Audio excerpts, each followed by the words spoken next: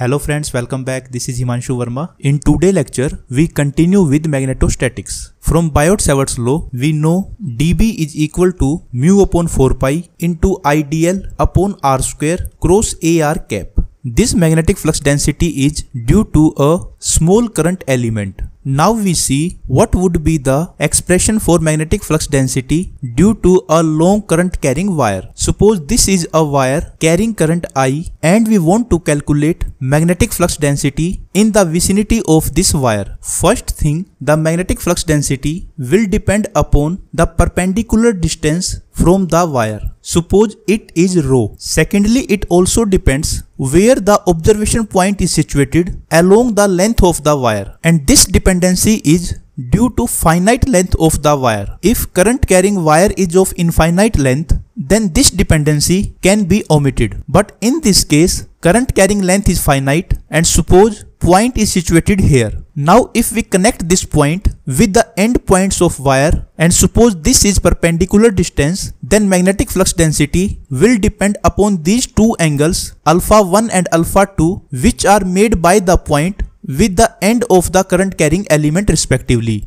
Now expression for B for this situation is equal to mu upon 4 pi into I upon rho and into sine alpha 1 plus sine alpha 2. And if we are using cylindrical coordinate system, then we need not to use cross product to define the direction of B. In fact, the direction of B will be in phi direction. Phi means around the wire and very simple way to find the direction of B or H due to a current carrying wire then hold the current carrying wire in your fist pointing thumb in the direction of current then the direction of fingers will give the direction of magnetic field. And it is very clear that direction of fingers are in phi direction. So we write a phi cap. Now first case arises if wire length is infinite. In that case, alpha 1 and alpha 2 both will tends to 90 degree. And sine 90 plus sine 90 means 1 plus 1 2 and it becomes b is equal to mu upon 4 pi into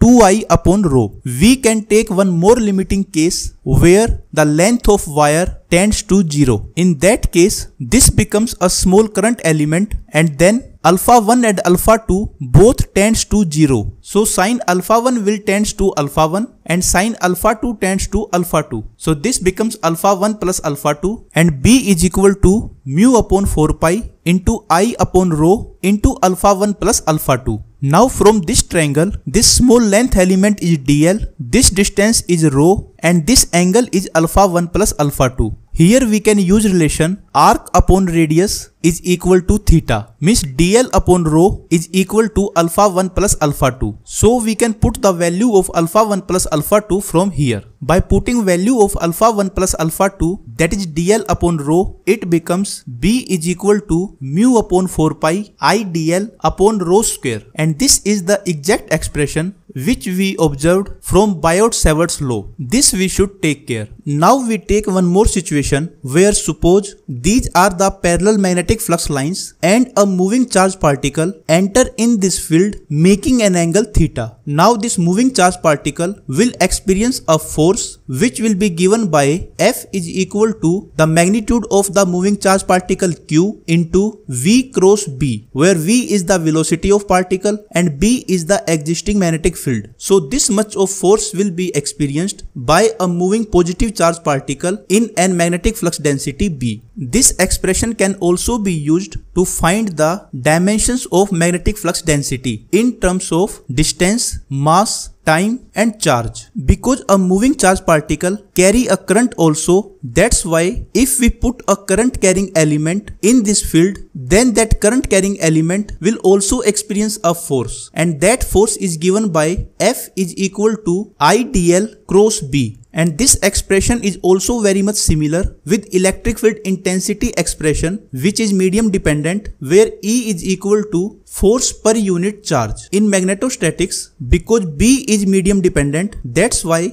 B is equal to force per unit current element means IDL. So this similarity we should take care. Obviously this expression is true only if the current carrying element is placed perpendicular to the direction of magnetic flux lines because then cross product can be converted into simple product as sine 90 is 1.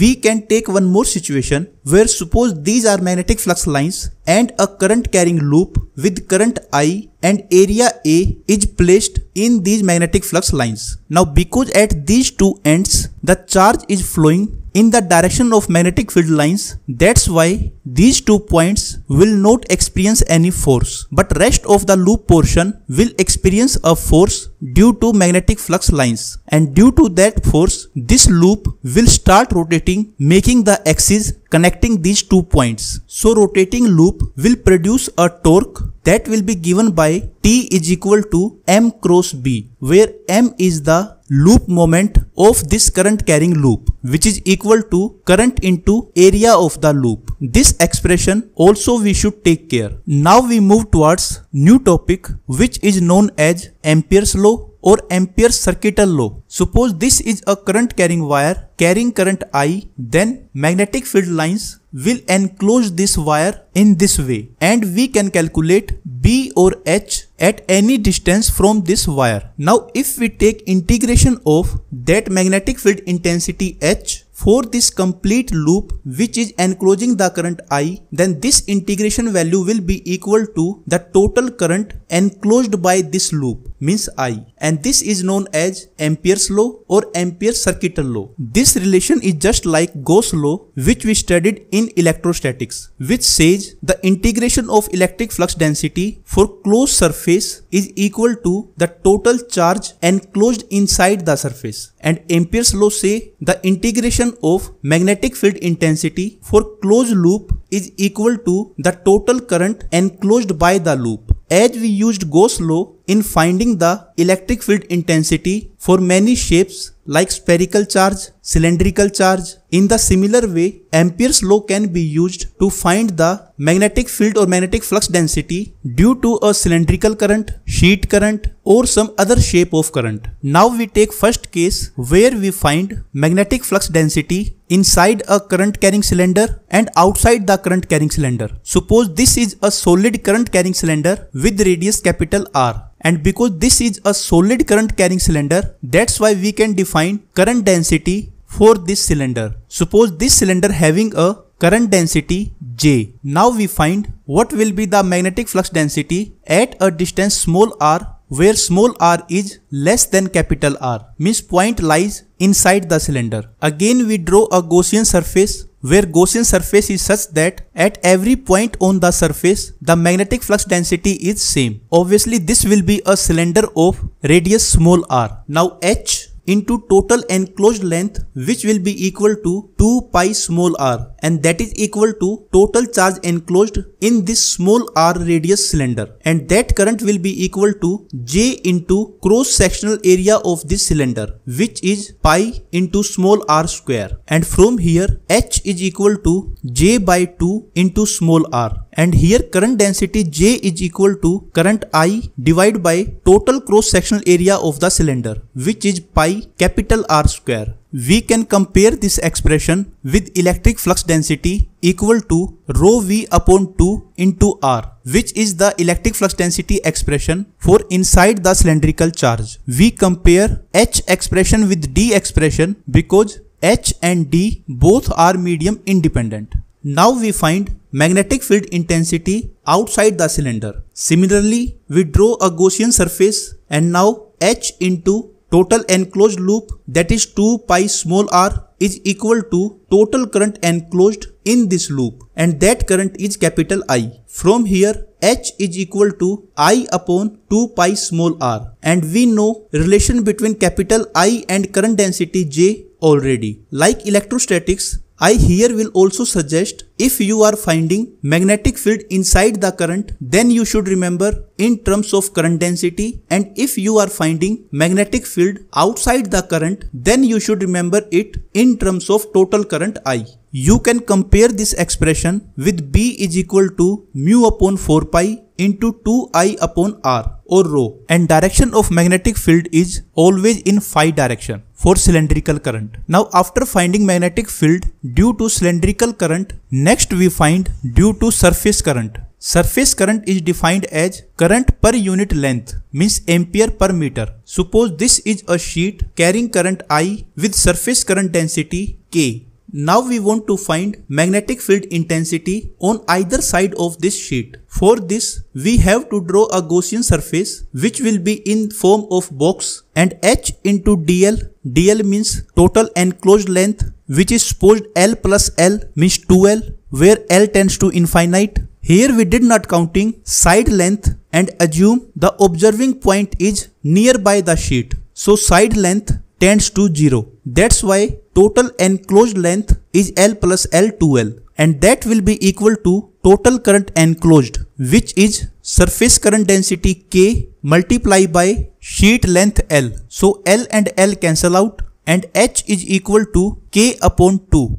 Here we should take care one more thing. that direction of H is not in the direction of current, means direction of K. In fact, it is perpendicular to K. And in this case, for finding the exact direction, we have to use cross product. The direction of H will depend upon direction of K and direction of surface. And surface direction is always normal to the surface. If we want to calculate magnetic field intensity on this side, then we have to take normal in this side. And from here, K cross AN, where AN cap is the direction of surface. K cross AN will give this direction. And if we want to calculate H on this side of surface, then we have to take normal in this side. And again K cross AN is in this direction now. So in this side, magnetic field direction is this and on this side magnetic field direction is this which can be exactly calculated by k cross an and we have to take care